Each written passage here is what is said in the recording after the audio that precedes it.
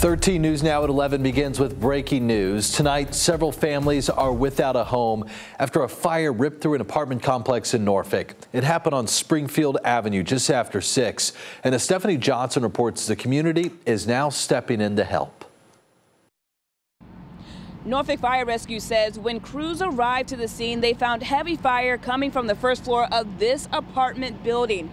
And tonight, families are left devastated. A little before 6:30, fire crews from Norfolk and Chesapeake responded to this 8-unit apartment off Campostella Avenue.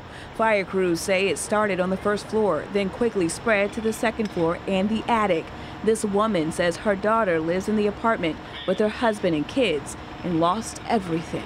Devastated, sad, angry, Christmas is just gone. Across the street, Metropolitan AME Zion Church opened its doors, offering shelter and comfort. The church is for the community, and so we're here for them. Whatever they need, we're here for them. We're going to stay here all night long until um, whatever they need, we're here. It took fire crews about 45 minutes to get the fire under control. Ward 4 council member John J.P. Paige came out to comfort the people who lost their homes. And as leadership, we need to show up. We need to be in place in the spaces where our citizens are going thing, through things. Sometimes it's the greatest uh, sign of support just to show up.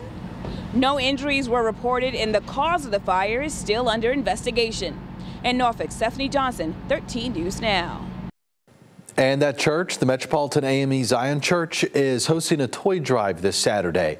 The pastor plans to give all the kids impacted by this fire a chance to pick out the gifts first, and people can drop off donations tomorrow and Saturday.